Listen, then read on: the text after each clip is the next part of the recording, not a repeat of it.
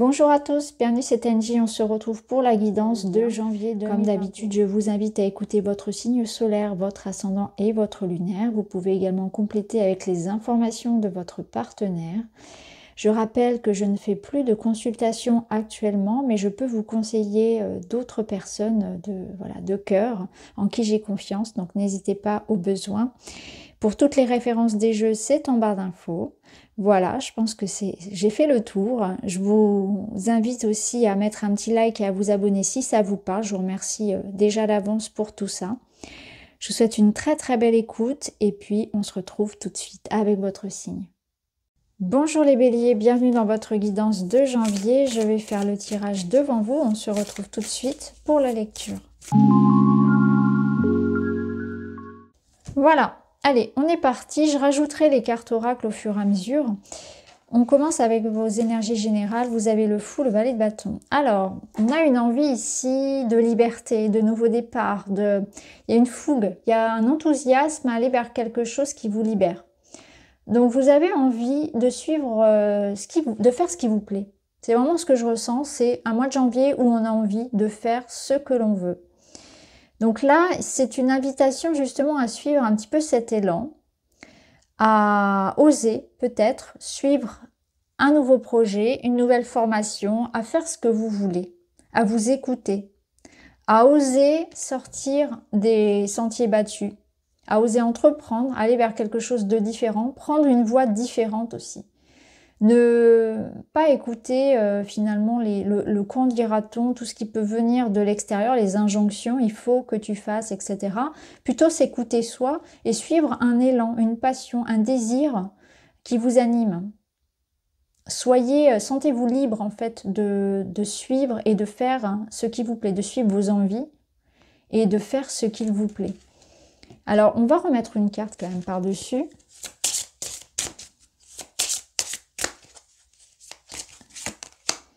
Vous avez le magnétisme. Alors le magnétisme, c'est une énergie très forte.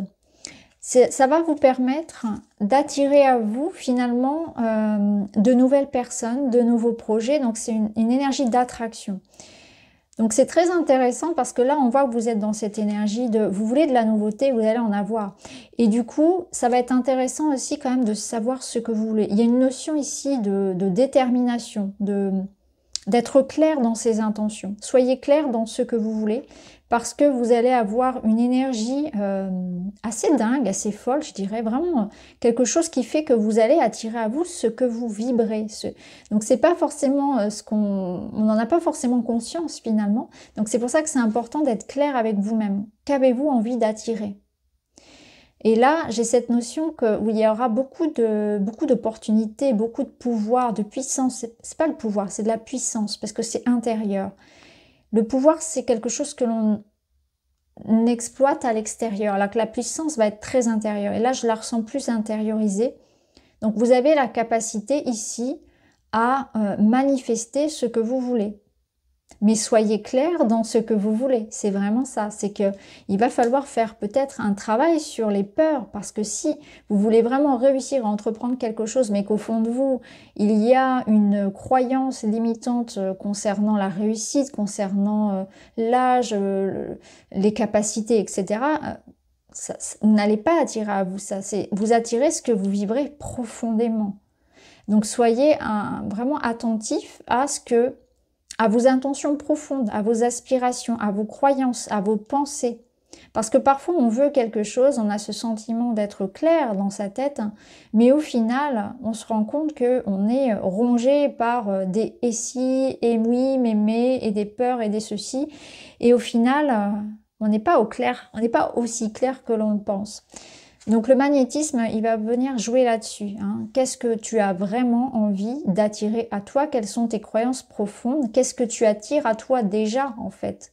Qu'est-ce que tu attires à toi? Donc un travail sur les croyances, sur les peurs, qui va permettre, en se libérant de tout ça, des injonctions, des croyances et des peurs, de pouvoir se libérer justement, de pouvoir attirer à soi, manifester ce que l'on veut réellement. Vous retrouvez une forme de, de puissance grâce à ça grâce à ce nettoyage-là, à, euh, à ce travail sur vos croyances profondes. Alors, euh, niveau professionnel, Alors, au niveau professionnel, on a une fin de cycle pour un renouveau. C'est intéressant d'avoir les cartes dans cet ordre-là. On a le monde qui amène l'achèvement, l'accomplissement de quelque chose et le magicien derrière pour ce nouveau départ. Donc, on voit que vous avez, vous avez accompli une fin de cycle. Avec l'année qui se termine, on a cette notion que, en même temps, voilà, il y a un chapitre qui se, qui se ferme pour vous et vous avez envie de nouveautés. Alors peut-être que pour certains, on a aussi envie d'aller explorer le monde, de travailler avec l'étranger, de hum, d'avoir une carrière internationale, d'avoir une reconnaissance euh, plus large. Vous voyez, il y a cette notion de, de public, de, hum, de reconnaissance, de vraiment. Alors peut-être que ça va résonner avec euh, l'étranger pour certains, pour d'autres étendre. Euh, étendre leur, clientèle, leur, euh, ça peut être des voyages aussi, ça peut être une progression, travailler avec une entreprise qui est dans l'international. Mais je ressens que vraiment il y a quelque chose de nouveau. Et ça, ça rejoint notre énergie générale. On voit bien que vous êtes dans ce nouveau départ professionnel et matériel. Avec le magicien, il y a la notion d'aller chercher au fond de soi. Vous avez les ressources. C'est une carte de confiance. Elle vous dit, vous êtes capable de conquérir le monde. Vous êtes capable d'aller vers, de vous renouveler aussi, de vous renouveler. Donc d'apporter une nouvelle façon de travailler, de vous former à quelque chose de nouveau, de voyager, de vous faire connaître aussi. N'ayez pas peur en fait. J'ai l'impression qu'ici on vous dit le monde vous appartient. N'ayez pas peur de partir à l'aventure. On va mettre euh, du witchy par-dessus. Alors, c'est intéressant d'avoir le sakura et l'énergie de l'enchanteur. Alors, il peut y avoir un homme qui vous aide dans votre entreprise, ça peut être vous aussi l'homme. Et là, on voit que soit ça peut être vraiment l'aide, l'appui d'un homme avec qui on va construire quelque chose, un projet, ou quelqu'un qui a confiance aussi en nos capacités. Avec le sakura, on a cette notion de, solidité.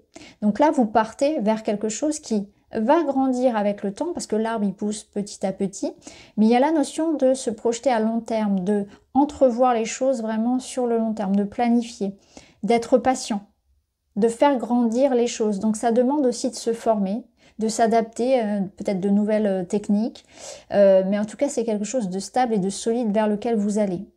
Misez le long terme aussi. Donc soyez dans cette patience et dans cette notion que vous avez encore des choses à apprendre.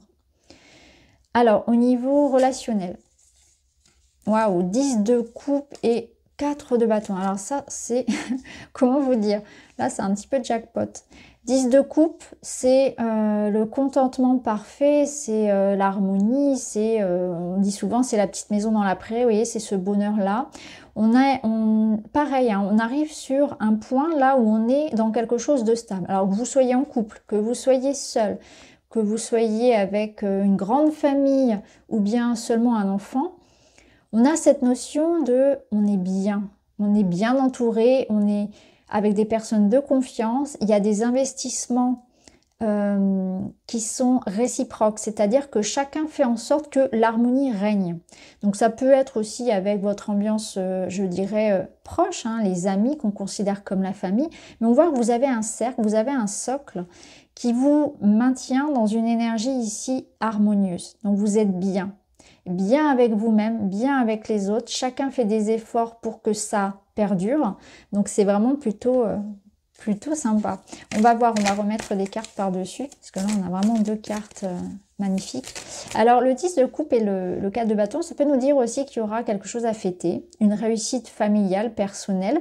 Ça peut nous dire pour certains que vous allez peut-être euh, obtenir la maison de vos rêves. Vous voyez, il y a quelque chose comme ça aussi avec le, avec le foyer. Là, on peut, alors on peut fêter, voilà. Ça peut être l'arrivée d'un enfant, ça peut être une pendaison de crémaillère, ça peut être, voilà, euh, on accède à la propriété, euh, ça dépend de vos projets, mais en tout cas c'est très positif et il y a cette notion de bonheur et de festivité, quelque chose que l'on est heureux de, de, partager et de fêter. Alors là on a de la communication, on a l'amour, ok, ok.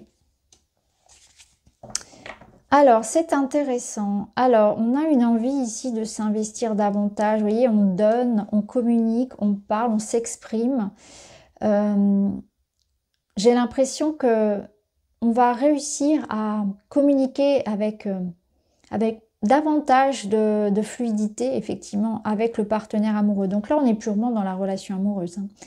Parce que là, on a cette notion de partager, euh, on est vraiment dans l'idée que le bonheur est complet. C'est-à-dire qu'on est dans une relation de confiance où on peut s'exprimer à cœur ouvert, c'est réciproque, l'autre aussi se confie à nous. Et vous voyez, il y a cette notion-là, il y a des petites attentions, on pense l'un à l'autre, on fait attention, euh, on est attentif en fait à l'autre. Et il y a cette notion de réciprocité. C'est ça qui est intéressant, c'est que ça va pas que dans un sens. Hein. C'est ce que nous confirme ce 10 de coupe où et le 4 aussi de bâton, qui est cette stabilité et ce, cette énergie qui circule bien. Donc que ce soit, moi je le ressens plus dans une relation amoureuse, mais ça peut être aussi avec euh, dans une amitié, hein, dans un lien. On voit que voilà, vous êtes vraiment dans l'idée d'avoir envie de regarder dans la même direction. On s'engage, il y a cette notion d'engagement envers quelqu'un où on a envie d'aller plus loin peut-être aussi. Donc il peut y avoir une étape supplémentaire qui est, euh, qui se passe dans une relation amoureuse. Alors, les conseils, 4 de pentacle et 3 de coupe. Alors, c'est intéressant parce que le 3 de coupe, c'est aussi un petit peu comme le 10 de coupe, cette bonne ambiance. C'est euh, pareil, la notion de fête, la notion de bonne entente. Et le 4 de pentacle, on voit qu'il y a une forme de sécurité. Donc, je pense que là, on vous invite à consolider les liens. Il y a des personnes euh, avec lesquelles vous avez beaucoup d'affinités, euh, il y a quelque chose à, à nourrir, il y a des liens à nourrir. Donc je pense qu'on vous invite ici à être attentif aux personnes qui méritent votre attention, aux liens qui méritent votre attention. Donc il y a quelque chose à chérir. Là, avec ce cadre de Pentacle, je pense qu'il y a une notion de peut-être être resté un petit peu trop sur sa réserve de pas avoir assez investi sur euh, d'être resté peut-être un peu trop dans la dans la solitude, de sortir de sa solitude, de sortir de sa réserve amoureuse, euh, de donner, de s'investir pour construire avec les autres pour peut-être aussi chercher à s'intégrer à un groupe, à une association. Ça peut être quelque chose de loisir aussi. Hein. Ça peut être l'idée de euh, sortir de sa réserve pour oser prendre des cours de danse s'investir dans une association, mais aussi nourrir les liens d'amitié. Peut-être que ça fait longtemps que vous n'avez pas passé un coup de fil à un ami ou des choses comme ça, ou que vous répondez, euh, euh, comment dire, vous ne répondez jamais aux invitations, etc. Vous, préférez rester seul. Là, il y a la notion qu'il faut aussi nourrir les liens, que les autres aussi ont quelque chose à vous apporter, et même si vous aimez être seul, c'est important de s'associer aux autres, de nourrir le lien, de donner. N'ayez pas peur de donner peut-être un petit peu plus. Alors la finalité du mois, le diable et l'as d'épée.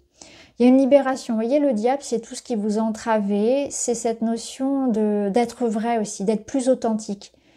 Parce que le masque, ça peut nous représenter quand eux ont choisi la facilité, quand eux ont mis sur les plaisirs à court terme sans penser, euh, voyez, euh, à plus loin. Il y a cette notion d'être vrai, d'être authentique aussi dans ce que l'on fait, dans ce que l'on donne. Donc peut-être que quelque part, vous avez manqué d'authenticité, vous avez choisi la, voie de la facilité, mais quand on, on, bénéficie pas trop en fait à, jouer euh, sur ce plan-là. Et là, c'est une invitation à ça, à être authentique, à être vrai. Et puis, c'est aussi euh, une forme de libération, parce que l'as d'épée, il va vous permettre aussi de vous libérer. Avec le, diable, c'est toutes les peurs, c'est, voyez, c'est ça en fait, c'est ce 15-là, il ressort là. C'est c'est cette notion d'aller chercher en soi sa part d'ombre, d'aller chercher en soi les choses un peu puériles, instinctives, les, les peurs, les peurs profondes, les croyances limitantes. On se libère de quelque chose qui a une emprise sur nous de notre côté obscur. Donc il y a quelque chose comme ça où on sort un peu de sa coquille, où on se libère de ses peurs, on ose, on ose entreprendre, on ose être soi, être plus authentique. Et avec l'as d'épée, vous avez une forme de, de réussite, de victoire, mais aussi de prise de conscience par rapport à ça, par rapport à tout ce qui pouvait faire emprise sur vous, toutes vos chaînes. Donc pour moi, vous vous libérez vraiment totalement de toutes vos chaînes. On va terminer, on va rajouter une carte par-dessus pour voir féminin sacré. Donc là, on est sur une énergie de douceur, de bienveillance. Le, féminin sacré, c'est vous reconnecter au plaisir, à l'accueil, à la douceur, à l'ouverture, à accepter de recevoir. Donc je pense que ça rejoint un petit peu cette énergie-là de partage avec les autres, c'est revenir à quelque chose de plus doux. c'est se réapproprier son côté féminin, qu'on soit homme ou femme. C'est renouer avec l'intuition aussi. Donc on voit que vous êtes peut-être aussi dans une phase de reconstruction. Moi, c'est vraiment ce que je ressens là. Vous allez mettre au monde quelque chose de nouveau, un, nouveau, un nouvel être, une nouvelle part de vous-même. Libéré de tout ça. Voyez ici, vous allez être beaucoup plus léger, vous allez beaucoup plus vous écouter. J'ai envie de faire ça, je le fais. Mais pour autant, je le fais en accord avec, euh, avec le respect de l'autre, en accord avec, euh, avec moi, en me respectant et en respectant les autres. Je fais ce qui me plaît, je me libère de mes peurs, je me libère de ce qui a de l'emprise sur moi. Donc ça peut être aussi des tabous, des euh, comment dire, des complexes, des insécurités. Et il y a quelque chose que vous allez vous permettre de faire. Donc c'est très très beau comme, euh, comme tirage parce que ça laisse euh, présumer finalement que vous allez réussir à, être beaucoup plus léger et à oser, à oser être vous-même et entreprendre des choses pour votre, pour votre épanouissement personnel.